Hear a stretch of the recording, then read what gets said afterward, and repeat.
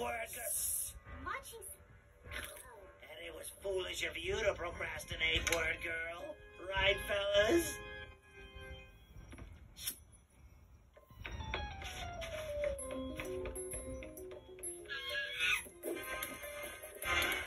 It's been too helpful anyway. It's over, word girl. No more Dr. Nice Brains. I've set my super sleep snooze rate to permanently grind. After I zap you with this ray, you'll forever be too tired to stop me from stealing the city's cheese and taking over your hideout. So you're taking over my hideout now. Honestly, I'm not too crazy about it, but the henchmen love it. Still, will you?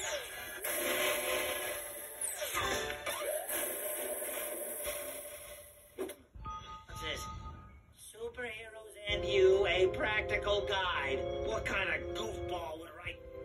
Oh, this is the book I wrote before I became an evil genius supervillain. I know. Most of what I learned about how to be a hero I got from that book. The movie's better. You were a great scientist before you turned to a life of crime. Well, uh, maybe you should reread